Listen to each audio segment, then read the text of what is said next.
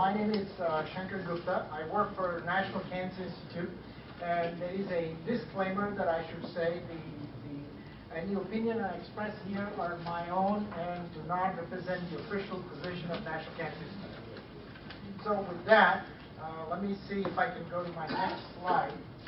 Uh, okay, so uh, here we are today.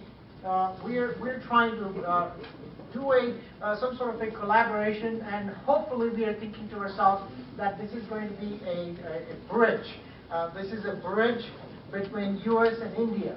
Now uh, it is clear to foggy, so it's this is not the actually the you know the, the, Golden Gate Bridge and not the weather forecast for San Francisco area. But what happens is it's either whether you're at one end, whether you're at the end where uh, you're possibly uh, either from India or from U.S.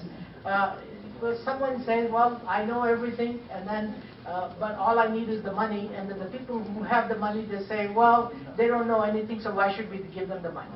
So hopefully we solve this problem, and we move forward, and we come to a, uh, a clear uh, day where everything is well connected and the bridge uh, connects the two sides. And that's, that's what we hope to achieve. And this panel will give you an overview, uh, which this overview uh, consists of four talks. So fortunately, I'm not the, uh, the speaker here. I'm just the presenter for all the rest of the esteemed speakers. Uh, Dr. Kumar, who is uh, from the uh, Moffitt uh, Center, which is a, preeminent uh, cancer center in, uh, in Florida.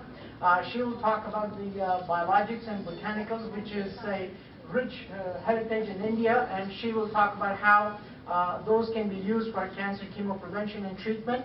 And Dr. Sanjay Malhotra, who is the head of the, uh, uh, you know, the, the, medicinal lab for National Cancer Institute. He's going to present an overview of our integrated pipeline. And Dr. Chakravarti, who was the, uh, you know, is a pioneer and, and came up with the oil-eating bacteria. He's going to talk about his recent experiences and, uh, and brush with uh, starting biotech uh, firms, both here and in India and Dr. Perkel, he's a uh, colleague of mine and is in the same building as I am.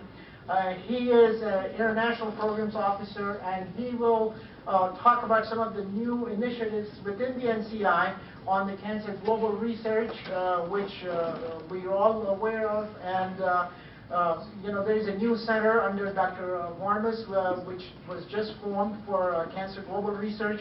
So he's going to talk about some of those uh, the status of cancer research in NCI and how it relates to other countries. Now, uh, so what are our uh, rules of the game, so to speak?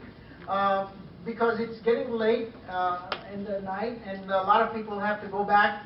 Uh, I thought we will give everybody five minutes and then we'll have a one minute of summation and then at the end if people are still energetic enough that they would like to ask uh, any questions of us, then uh, we'll come back here and, and try to answer questions.